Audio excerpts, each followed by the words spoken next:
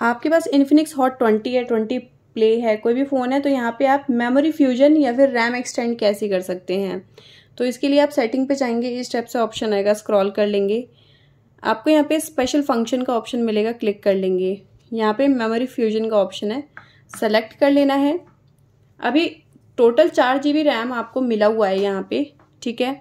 और memory fusion को आप ऑन कर देते हैं तो आपका जो भी इंटरनल स्टोरेज होता है ना, उसमें से आपको एक जीबी और एक्स्ट्रा रैम में कन्वर्ट कर देंगे वो, और रैम में ऐड हो जाएगा।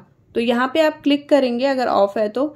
आपको एक जीबी और बढ़ाना है, दो जी बी तीन जी बी ये आप अपने अकॉर्डिंग देख लेंगे। तो मान लो तीन जी रैम बढ़ाना है तो तीन जी को सिलेक्ट किया, और एक्टिवेट एंड रीस्टार्ट पे क्लिक कर लेंगे। फ़ोन आपका स्विच ऑफ़ होके ऑन होगा वेट कर लेना है आपको।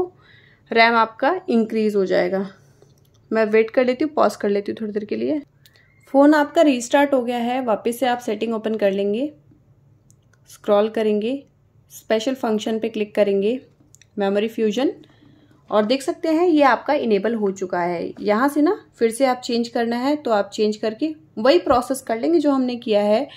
चार प्लस तीन। टोटल आपका सात जी बी यहाँ पे एक्सटेंड हो चुका है। इस टाइप से आप यहाँ पे रैम इंक्रीज कर सकते हैं और टर्न ऑफ़ कर सकते हैं। मिलते हैं नेक्स्ट वीडियो में, तब तक के लिए नमस्कार।